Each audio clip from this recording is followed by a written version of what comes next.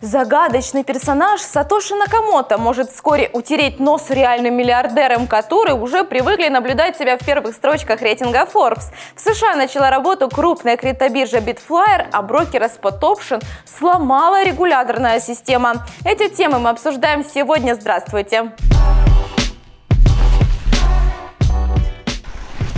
Давайте поспекулируем на тему криптобогачей и заглянем в карман отцу биткоина Сатоши Накамото.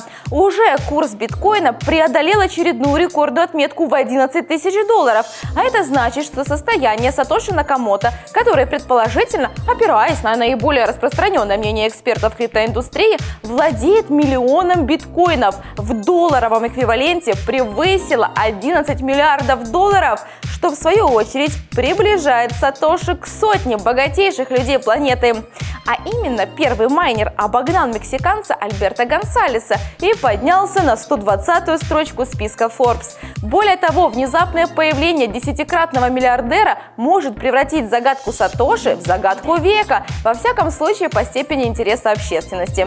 Считается, что человека с таким именем вовсе не существует, а Сатоши Накамото – это псевдоним, избранный для определенного лица или группы людей, которыми были подписаны первые научные работы, излагающие суть криптографической валюты, то есть разработавшие протокол криптовалюты биткоин.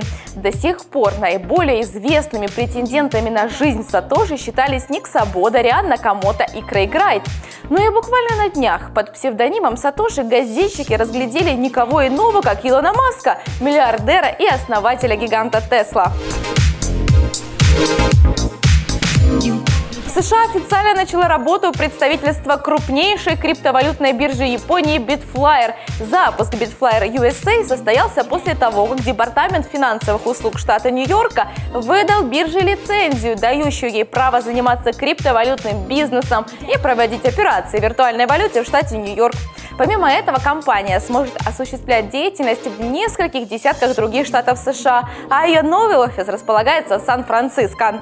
Изначально биржа предоставит клиентам возможность торговли только биткоинами, однако уже в следующем году она планирует добавить в линейку своих торговых инструментов другие пары и продукты, включая лайткоин, эфириум и биткоин кэш.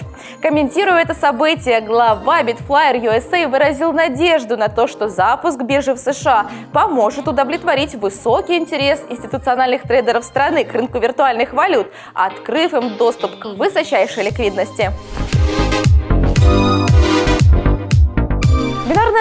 Продолжают уходить в тень. Spot Option в ближайшие месяцы прекращает всю деятельность в Израиле, имеющую отношение к бинарным опционам, в рамках своей масштабной реструктуризации бизнеса, на которую компании пришлось пойти из-за действия регулятора.